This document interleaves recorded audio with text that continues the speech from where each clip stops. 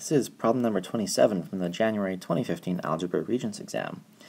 In this question we're given um, a table of values for a function and it says if included in the table which ordered pair, negative 4, 1 or 1, negative 4 would result in a relation that's no longer a function and explain your answer. So the important thing is to understand what a function is. So the important thing for a function is that for every actually you know what I'm just going to type this up.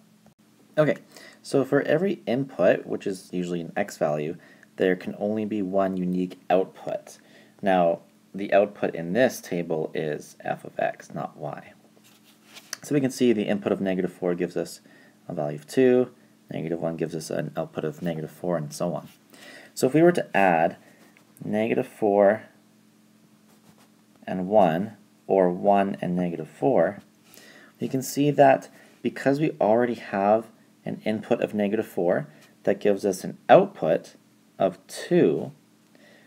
Um, if we gave an input of negative 4 again with a different output of a 1, then we no longer will have a function because it's giving a different output. That's uh, two different outputs. So 1 negative 4 would be totally fine, um, but negative 4 and 1 is not. So negative 4, 1. And one explanation you could give for that is uh, because f of negative 4 would give two different values.